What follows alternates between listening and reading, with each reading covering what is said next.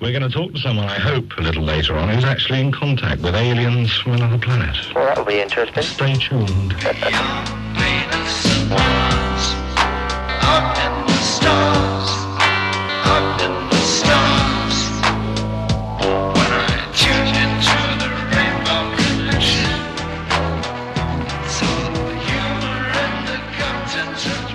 You were God, I mean, you wouldn't want to do any work, would you? You'd get other people to work for you.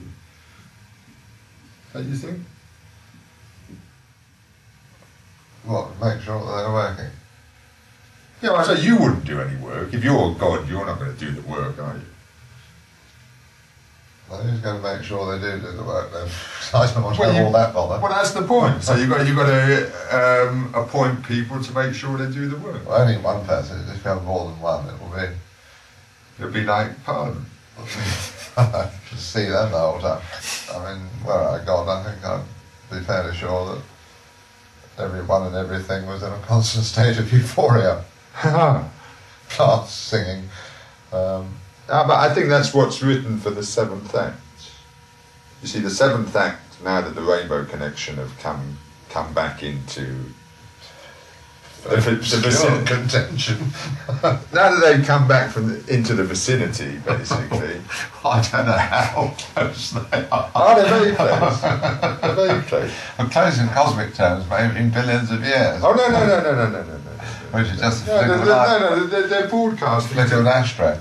They broadcast to here, they can't be that far away. Otherwise, I couldn't pick them up. I may have master being able to be picked up billions and billions of miles and years away. Let's put it this way, if I was God and I wanted this rainbow connection to come about, I wouldn't put you in, you in charge of it. ah, but God's a joker. You see, it's, it, it's he is. And I don't think So there's that's any who can argue that he doesn't really want it to happen. By putting it in your hands.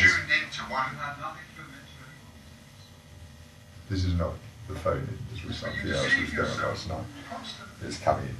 You are not true to yourself. You are not true to yourself. Uh, what were we talking about?